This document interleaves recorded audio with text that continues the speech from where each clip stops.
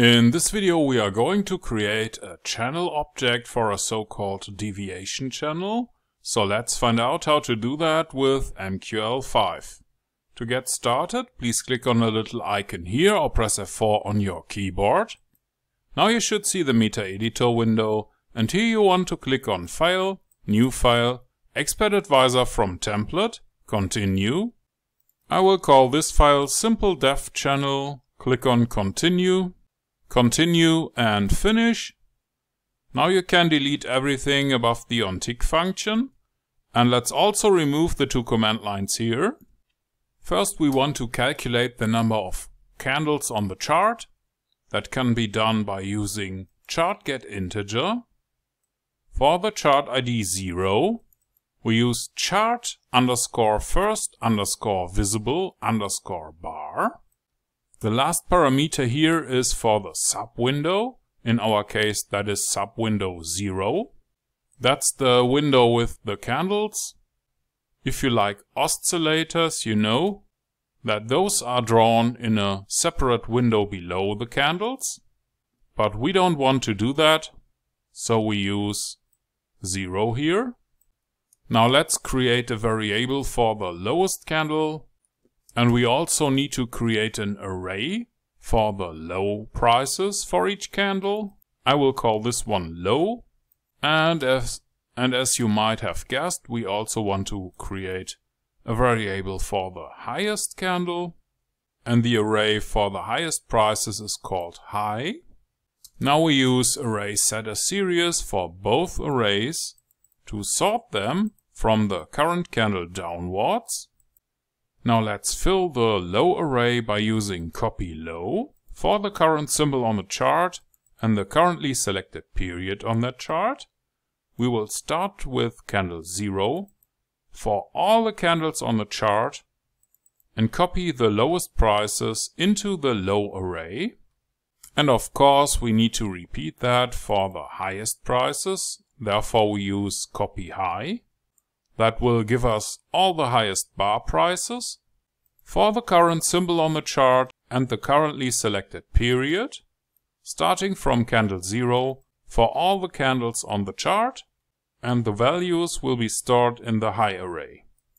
To get the lowest candle on the chart, we use array minimum. That will give us the lowest element in the array and we are looking for it in the low array, starting from candle 0 for all the candles on the chart, and store the lowest candle number in this variable. That's the number of the candle, not the value. You might have expected that we also need to do that for the highest candle. This time we use array maximum. And we want to search inside of the high array, starting from candle 0 for all the candles on the chart and store the result in the variable highest candle. Let's continue and use MQL rates to get all the price information that we need.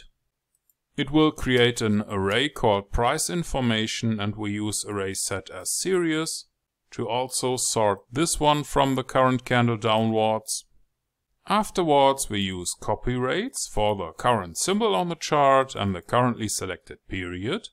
Starting from candle 0, that's the current candle, for all the candles on the chart and store the result in our price information array. Let's use object delete to delete any former objects for the current symbol on the chart. It will delete objects called simple channel object and we will not have such an object on the very first time we call the function, but afterwards we want to make sure that we delete the old channel before we draw a new one. And that is done by using object create. So let's go through all the parameters we need. The first one, underscore symbol, is for the current currency pair. The second one is the name of the object. I have called it simple channel object the third parameter is the type of the object. In this case we are using obj underscore standard deviation channel. If you mark that and press F1, you will see that it is just one of the possible object types. it will draw a standard deviation channel object right on the chart. And in the next parameter we need to define that we want to have the object on the candle chart. That's, that's window number 0. I would like the object to be drawn for all the candles on the chart. I have to subtract one candle here because this is always a point in time and these are values. And as a value I would like to add the lowest candle and the lowest price of that candle. That's the first point. The second point is the time where candle 0 is drawn. Candle 0 is the current candle on the chart. And again I will pass the lowest candle and the lowest price here. The next parameter is for the second line. And I would like to have that drawn for all the candles on the chart. But this time I would like to pass the highest candle and the highest price for a reference point.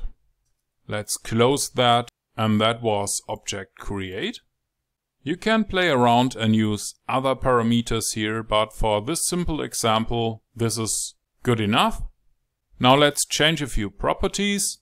The first one will be changed by using object set integer. For the chart ID 0, I would like to change the property for the object that is called simple channel object.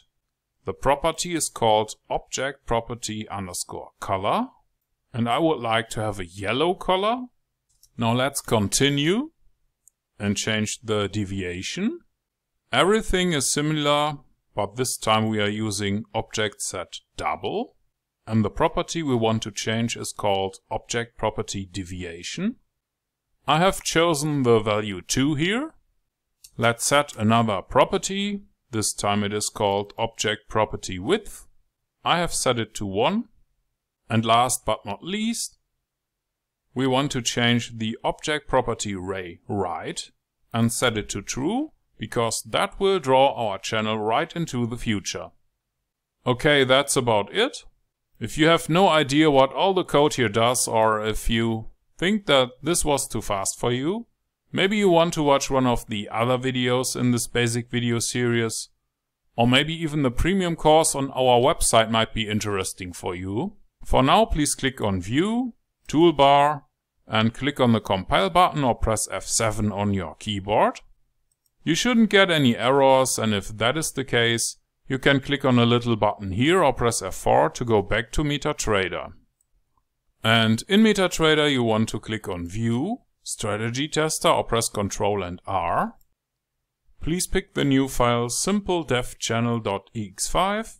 Mark the option for the visual mode Maybe you need to scroll down a little bit. This is where we need to enable it. And now please start your test. Here we are. We see that our channel is drawn and when we zoom into the chart, it is rearranged. You see that the majority of all candles is drawn inside of our deviation channel. And in this little video you have learned how to create a deviation channel object and you have coded it yourself with a few lines of MQL5